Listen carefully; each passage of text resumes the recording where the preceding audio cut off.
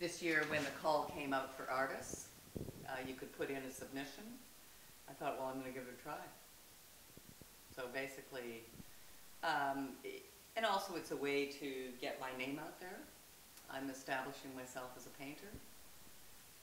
Doing a painting like that is more public than doing this kind of work as an organization is to develop creativity in Western Australia. They're trying to uh, tap into youth art because wall art, you know, tends to be, you know, on the edges and stuff like that. So they're trying to tap into that market appeal of people who are, you know, in the um, emerging, you know, emerging, not necessarily emerging artists, so, but emerging artists, but also emerging young professionals or young people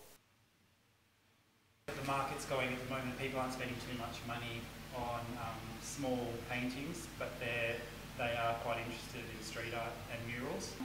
I think in Australia, I think Melbourne is known for its, for its street art and its art culture, and I think um, Form wants to bring that to Perth. Um, yeah, as far as I know, next year's event is the last one. Um, but hopefully it will continue. Um, I know a few um, friends of mine are trying to come up with something similar to continue in Perth.